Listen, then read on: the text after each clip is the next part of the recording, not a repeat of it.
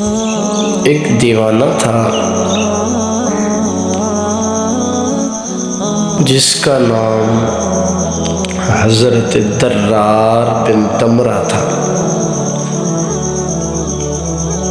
ये जो दीवाने थे, ये दीवाने हज़रत अली रज़ी अल्लाह तु के थे।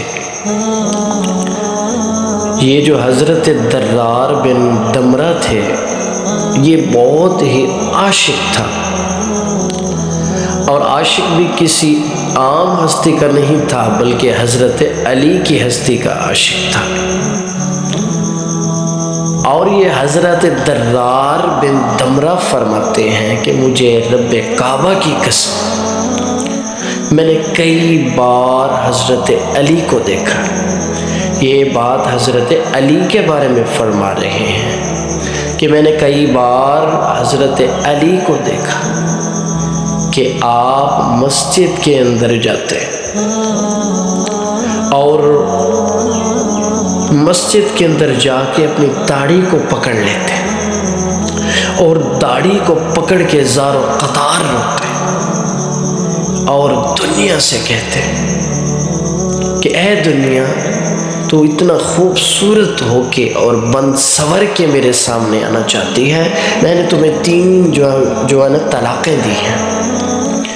और मेरा तेरा कोई रिश्ता नहीं। ये जो है ना हज़रत अली पाक फरमाया करते थे कि दुनिया किसी की जागीर नहीं है।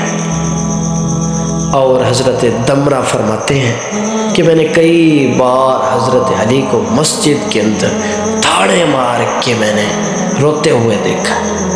और आप कह रहे हैं, या अल्लाह, मुझे माफ़ कर दे। और मैं उस खलीफा की बात कर रहा हूँ, जो कि चौथे नंबर के खलीफा हैं, और जिसे खलीफा चारों भी कहा जाता है, और हज़रत अली की ज़ात है।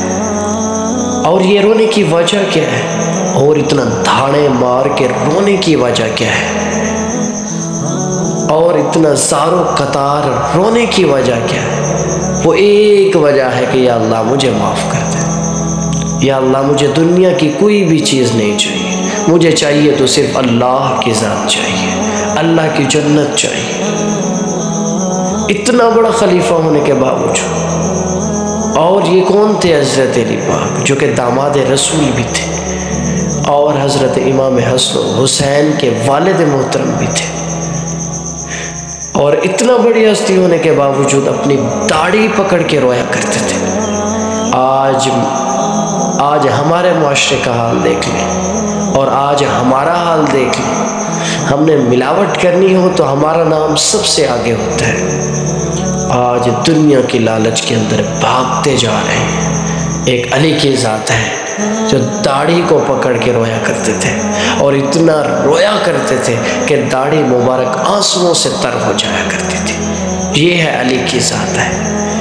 या अल्लाह मुझे दुनिया की कोई चीज़ नहीं चाहिए और दुनिया के साथ मेरा ताल्लुक़ ही नहीं है और दुनिया के साथ मेरी बनती ही नहीं है। अगर बनती है तो अल्लाह की जन्नत के साथ बनती है। ये हज़रत अली के साथ।